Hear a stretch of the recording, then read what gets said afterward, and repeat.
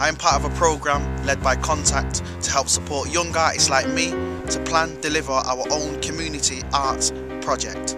I am a Future Fire, a project manager and an artist. I am a Future Fire and I'm a director and a musician. I'm a Future Fire. I'm a spoken word artist, I do a bit of music. I am a Future Fire, an actress and a writer. I'm a Future Fire and I'm an actor and a director.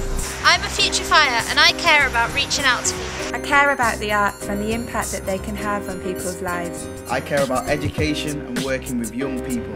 I get to work and share skills with a wonderful group of Boltonians and watch them get to know each other. I get to work closely with a mentor to develop my ideas. I have more confidence and a better understanding of how to get things done. I have great pride in what I have achieved. I have a clearer idea about the future and what it is that I want to do. And I have the evidence and experience to prove that I can do it. For more information regarding the Future Fires programme, make sure you log on to www.contact-theatre.org or alternatively you can contact Neil Alexander who is the Future Fires project coordinator.